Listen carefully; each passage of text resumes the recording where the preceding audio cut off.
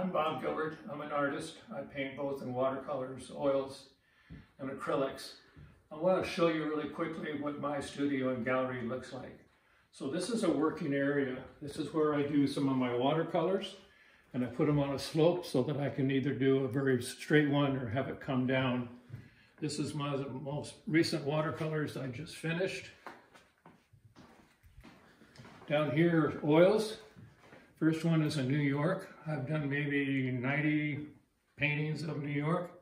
It's one of my favorite subjects, and as an architect, what I'm trying to do is trying to find the monumentality of those buildings. In fact, here's a good example of monumentality, which is the Prague in uh, Budapest. And this is um, another example of what I've done. It's another New York painting and a New York painting. Both of them have these lines that go through it. And for me, it's a way of showing the architecture and the structure. This one right here is another, as an example of Monet's garden and the color, and it was done as a commissioned to be twice this size, so this was my test piece. Over here in the hallway are other smaller oils, mostly landscapes, and in the middle is a large watercolor of New York, which got me started doing New York paintings in oil about 12 years ago. Back here in the storeroom, as you can see, there's a pile of New York paintings, and then landscape, still lifes, portraits, watercolors, Smithsonian, almost anything that you can think of is one of something that I've painted. I really do enjoy the using the different types of medium. And this gives a good example of it. These are some close by. Here's right in Great Falls, Meadowlark Gardens, Loudoun County. So there's quite a few paintings that are local.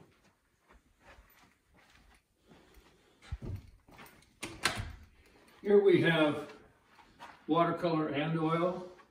This is here local in Great Falls. This is Great Falls, New York.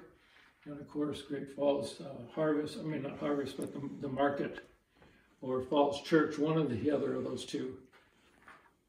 Falls Church down here.